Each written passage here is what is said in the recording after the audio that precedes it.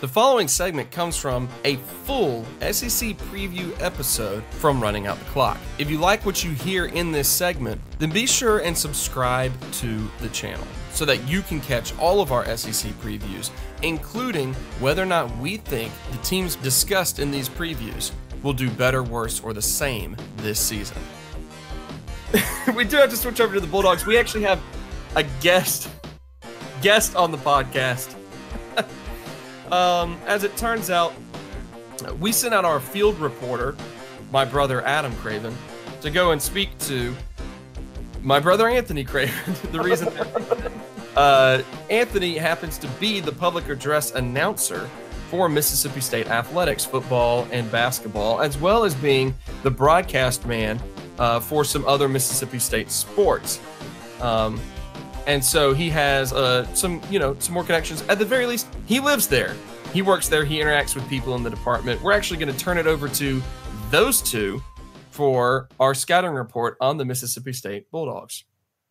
We're going to do a little a quick preview of, of the Bulldogs football team coming into the 2018 2019 season. So, we're going to ask you a few questions. First of all, Anthony, thank you for, for doing this. Sure. I'm, I'm excited to, uh, to have been ambushed at my own house and forced to record this. Yes, I just so you know, I uh, I drove two hours up here strictly to record this, and then I'm gonna drive straight back. Um, you are committed to your craft. Exactly. To, to helping another one of our brothers uh, with his podcast. It's not even my podcast. Um, so we get started. First of all, um, is this the greatest recruiting class in terms of names that you have that you have ever heard? We're gonna go just a few examples. Um, we have uh, uh, Quatravius Johnson, mm-hmm. uh, Shamar S H apostrophe M A R Shamar Kilby Lane. Yes. To go along with the trend of, of hyphenated uh, double last names. Uh, Isaias Ferge, my favorite. Ferge is my favorite too. The Ferge. Yes. And, uh, well, this is a, a, close second, is, is Jorquarius Spivey, um, which, which sounds like quite a football name. And I have no idea what any of their nicknames are, which their, their nicknames may even be better than their actual. I'm sure they are. Given I'm sure names. they are. I'm going to say yes. I know it's a joke question, but I'm going to say yes. That that just based on the names alone of the athletes, that it's it's the greatest recruiting class ever. We should start doing that. The recruiting rankings should should strictly based based on names, just on the names. Yes, Jorquarius Spivey. Entertainment value. Exactly.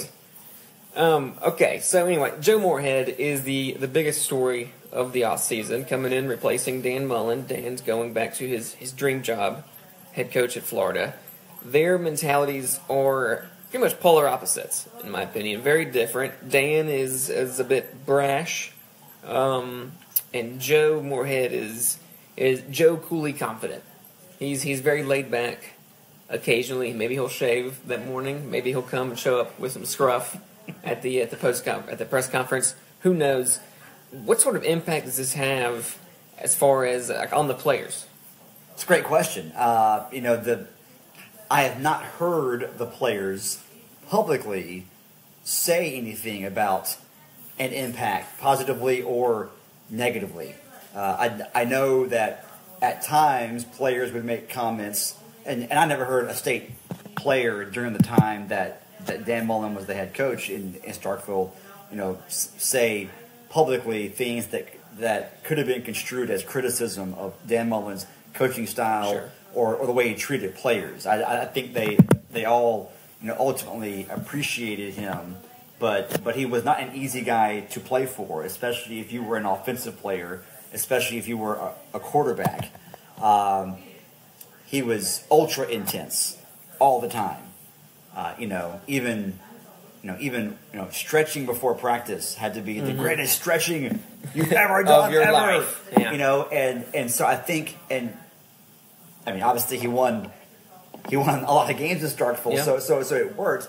Uh, Joe Moorhead is is different. I, I even have heard, you know, I've even had a, a, a friend of mine who works in the athletic department tell me, you know, so, sometimes I I wonder if he and his coaches are too laid back Yeah. Uh, Mhm, okay. uh, uh, so, so, it, so I wondered about Yeah, that. yeah, that'll be interesting to see how that plays out because in terms of their personality, they they are uh, in in that specific area of their personalities. They uh, they are almost polar opposites. Mm-hmm. I will say when when talking to friends of mine who who work in the uh, support staff and um, you know in the athletic department that that that change in personality has been a welcome change. Okay. Uh, he's more personable uh, than than Dan Mullen. Now, does that mean he's a better person than Dan Mullen? No, but but but Mullen was abrasive and uh, and uh, and and could be a jerk. Yeah. Uh, doesn't mean doesn't mean he's evil or a bad guy or, or a bad coach. He's, he's a good coach, but but he's he, This is style. he's, he's a jerk, you Yeah. know, and, and, and at times it's really, really difficult to work with him. Uh, and I've heard from multiple people who, uh, who work within the athletic department in the support staff that, that it's been a, uh, a breath of fresh air. The, um, the difference in, in personality and in attitude that, that Joe Moorhead and his staff uh, bring in. I heard someone, and uh, someone told me uh, a, cou- a couple of months ago that, that Joe Moorhead is the most confident person he's ever met without being cocky. Okay. Um, I like that. Again, does this mean that he'll win ten games a year because of that? I, I, I have no idea, but, but but but that is a very there. There are certainly more differences in their personalities, Moorhead and Mullen, than there seem to be in their actual X's and O's philosophies. Philosophy wise, they seem to be much closer to one another. than they- Offensive-minded. right? Right. Than they are personality wise. When Nick Fitzgerald uh, got injured uh, last year in the Egg Bowl, it Who? was uh, Nick Fitzgerald. He's our uh, he's our quarterback. Uh, he's a dark horse Heisman candidate as well this year. Uh, when Nick got injured uh, in the Egg Bowl last year, in the first quarter, it was the other side of the ball. It was the defense that, that really carried MSU through um, through the bowl matchup against Louis- against Yes. Louisville. Um, almost all the defensive stars return. You got Jeffery Simmons, Montez Sweat, uh, Jamal Peters as well. Um, with a new coordinator and a new, sh- a new uh, scheme, is the defense uh, going to be able to carry the load like an SEC defense needs to? Fantastic question. Uh, it's even with the new coach being an offensive minded guy, a lot of the hype around MSU heading into the season has actually been focused on the defense and specifically the defensive line. State might actually have the best starting defensive line in, in the SEC. Yeah, I mean, I most people put it up there with Auburn uh, and with Georgia and with Alabama's. Uh, it's it's really talented and, and it's deep.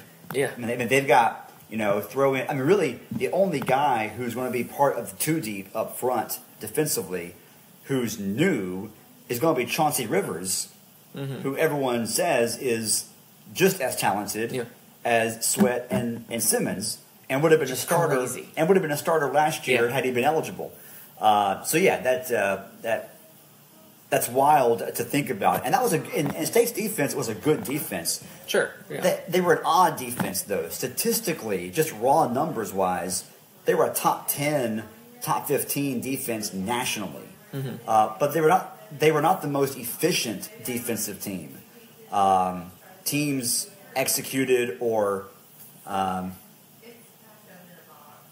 got first downs on third and long situations probably too often, uh, especially in, in big moments. State's red zone defense was not nearly as good uh, numbers wise as as their defense in every other situation. So and, and and a lot of that had to do with style of play because State was blitzing the majority of the time, regardless of down and distance, regardless of where you were on the field.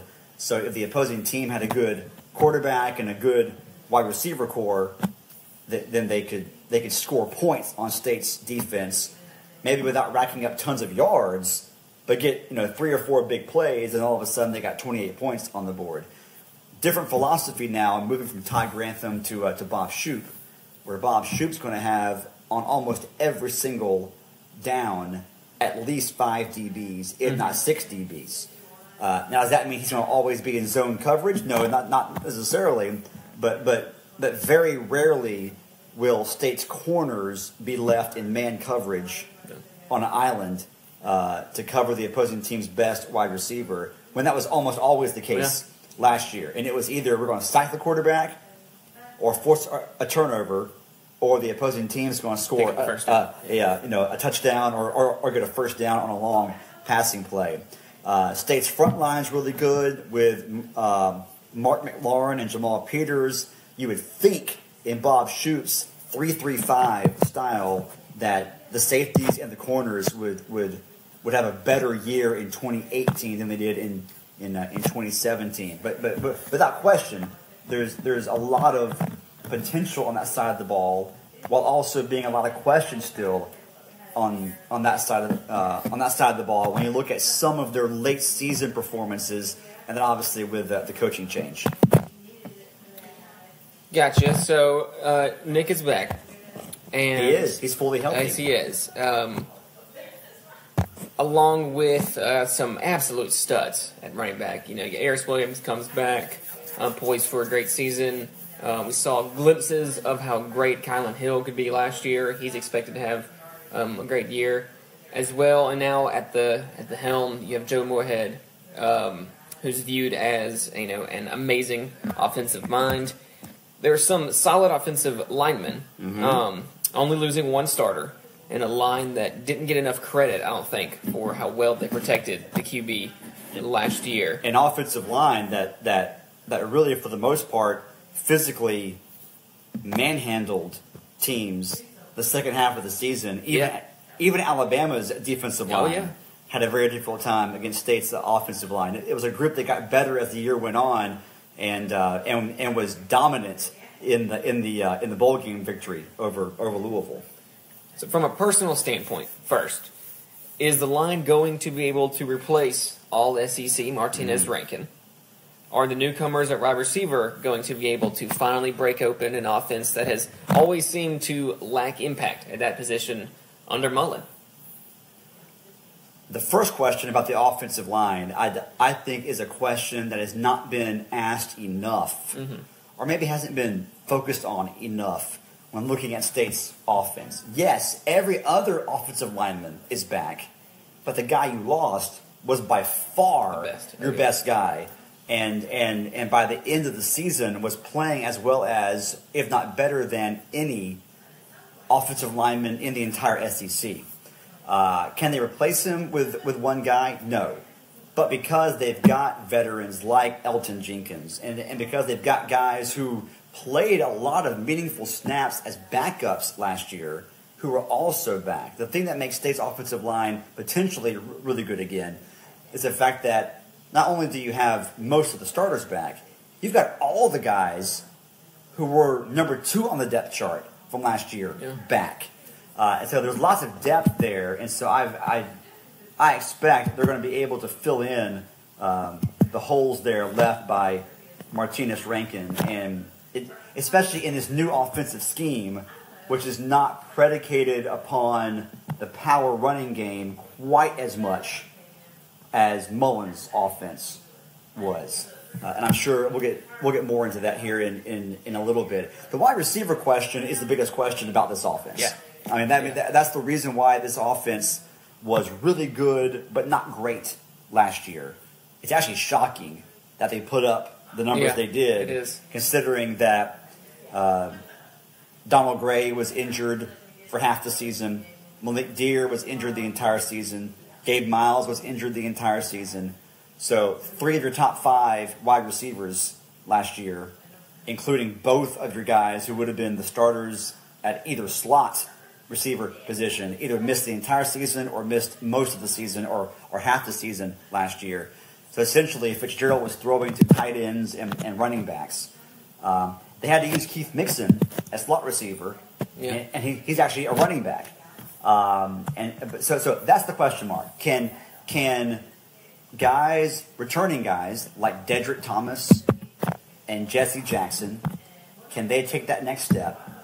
Uh, can the newcomers, uh, Austin Williams, Oh, yeah, Devon, things Devonta yeah. Jason, Stephen Guidry, can can they make an impact early? Uh, I think by the end of the season, all those guys will, assuming if they're relatively healthy, uh, they'll uh, they'll be in in good form and, and, and making an impact? Can they build up enough of a repertoire with Nick Fitzgerald in what's going to be certainly a more pass happy offense? Still, I mean, not not not an offense that, that passes the ball, you know, forty times a game, but certainly an offense that's going to pass it at least fifty percent of the time, as opposed to years previous when. I mean, even when Dak Prescott was the was the quarterback, State was still not going to pass the ball more than forty percent uh, of of the time uh, during a ball game. So, can the wide receivers get better? If they can get better, then all of a sudden, State's offense has, has a, a chance to be maybe the maybe the best overall offense in in, in the uh, Southeastern Conference. Ooh, hot take. Hot take. Um, Moorhead brings an offense that uh, thrives off of using backs like you know Saquon Barkley in multiple ways, and a uh, vertical passing game that is very different than Mullen's approach. Um, Mullen, of course, downhill running, uh, read options, uh, quick wide receiver screens. Does his scheme, does does Moorhead scheme work with this team? I guess the easy answer is we'll we'll find out. Yeah. Right. Oh, yeah. I mean, you you would think that it would uh, for a couple of reasons. One, you mentioned that even going back to his Fordham days, really the focal point of a Joe Moorhead offense is not the quarterback, but a running back or running backs who are multi-dimensional. Uh, and State certainly has that. You've got a returning thousand-yard rusher in the SEC in Aeris Williams. Uh, there, there, there are not very many teams in the SEC who are returning uh, a thousand-yard rusher. You've got a young guy in Kylin Hill who showed flashes. I mean, there's a reason why he was not redshirted. Yeah. Uh, I mean, he showed flashes as a freshman uh, of what he can be, and he is more talented than than Williams. I agree with that. Um, Yeah. and so there's going to be that. That's going to be interesting to see how they are used because unlike Mullen, Moorhead almost never uses two backs in the backfield simultaneously. Mm-hmm. So will they? So will Hill and Williams actually split time? At, uh, one at- of them emerge as Right, the right. Or will Yeah. one be the bell cow and the other one comes in as the change of pace guy? Um, but running backs are thrown to a lot in Moorhead's offense.